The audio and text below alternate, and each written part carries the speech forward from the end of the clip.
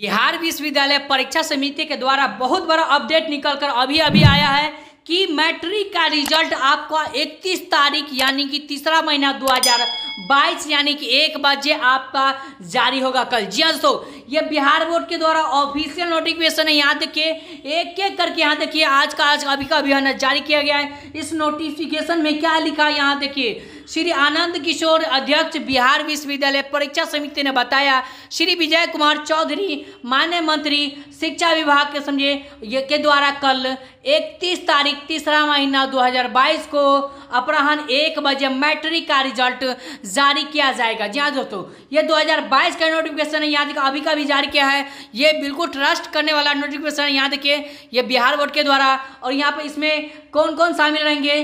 तो इस अवसर पर श्री संजय कुमार, उप सचिव, शिक्षा मंत्री विभाग उपस्थित भी रहेंगे। तो जी हाँ दोस्तों, कल हम आपसे जुड़ेंगे साढ़े बारह बजे। आप है ना इस चैनल को सब्सक्राइब कर दीजिए और लाइव जो है ना आपका रिज़ल्ट चेक करेंगे।